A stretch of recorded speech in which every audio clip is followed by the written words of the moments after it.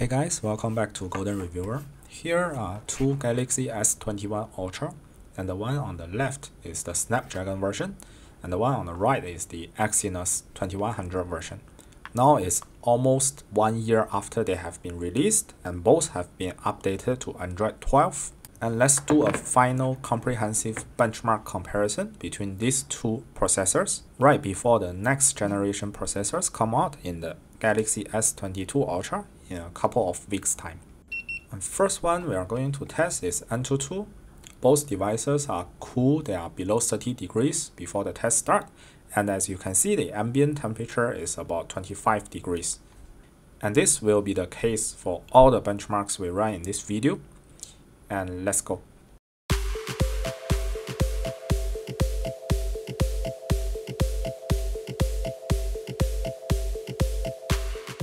Okay, in this test, the Snapdragon seems to be a little bit faster, so it finished the test a bit earlier than the Exynos.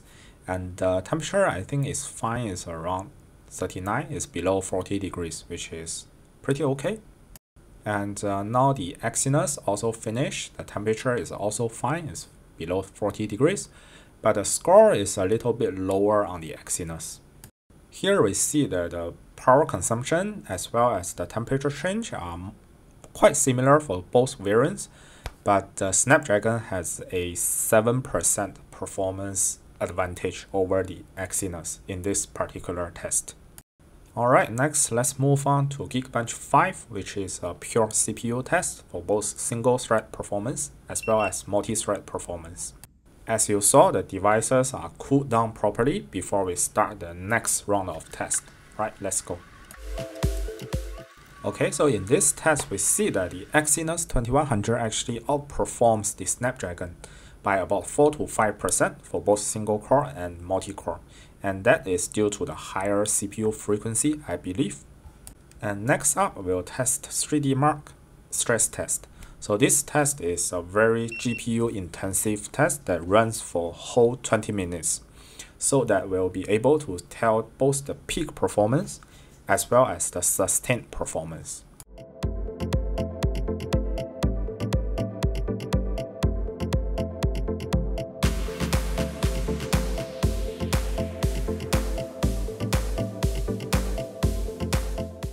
Okay, the test is almost finishing. Let's check out the temperature. So on the Exynos, I can see around 43 degrees on the hottest spot. And it's actually pretty similar on the on the Snapdragon as well. Here we see 42, 41 degrees. So the temperature only differs by maybe at most 1 or 2 degrees, which I think is not significant at all. And then let's check out the performance. And here is where the Exynos actually takes the lead, which is very surprising. Here we see that both the peak performance and the sustained performance is better on the Exynos. And we are not talking about a very trivial difference here. It's actually as big as 20 to 30%. So the Exynos GPU is actually pretty efficient. And then for battery consumption as well as the temperature, they are pretty similar here. And lastly, we'll test PC Mark.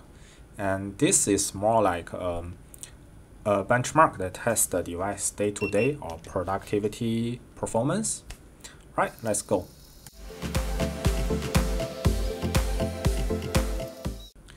Okay, in this test, we see that the performance of the two devices are quite similar where the Snapdragon actually takes a slight lead. Uh, it's faster by about 3 to 4%, which isn't that significant at all, and uh, battery and temperature performance are quite similar as well. Alright guys, so here I compiled all the results from the benchmarks, and we can see that the Exynos 2100 is actually not bad at all. When compared to the Snapdragon 888, it actually goes back and forth, right? So Exynos wins in some areas while the Snapdragon wins in other tests. And to be honest, last year could be one of the better years for Exynos users uh, in terms of the performance gap between the Exynos and the Snapdragon. So now I'm just like you, eagerly waiting for the next generation, the Snapdragon 8 Gen 1 and the Exynos 2200. and as soon as those devices are released, I'll buy them and test them. Okay, now that's about it for today's video.